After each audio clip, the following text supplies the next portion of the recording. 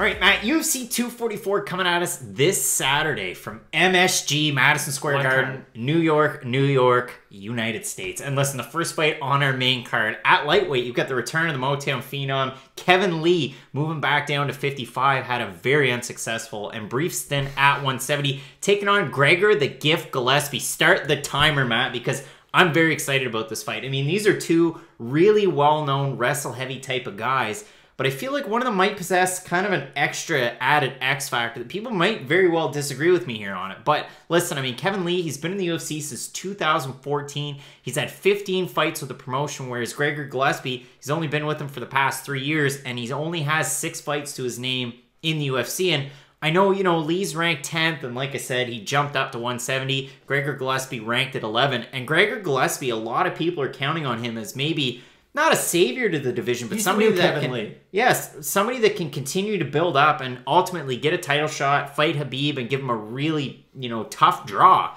What do you think of this matchup? I'm gonna pump the brakes on all that jazz. So I think that Gregor Gillespie is a very similar fighter to Kevin Lee, but the difference is Gregor Gillespie is gonna wrestle you, take you down, and control you.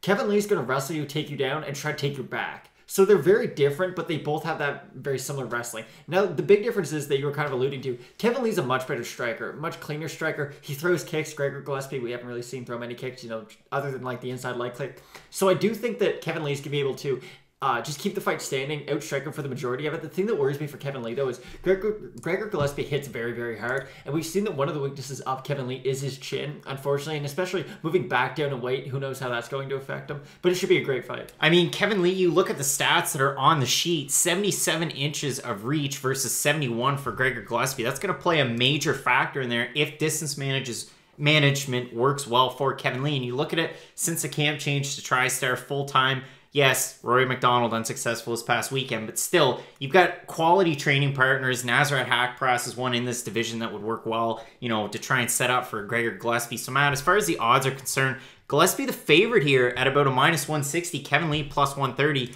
What's your official pick here? So I'm going back and forth on this, and it, it is very much a coin toss, so I can't really give you like, oh, this guy's definitely going to win, but I do think Kevin Lee's going to be able to pull this out, kind of get back on the winning streak.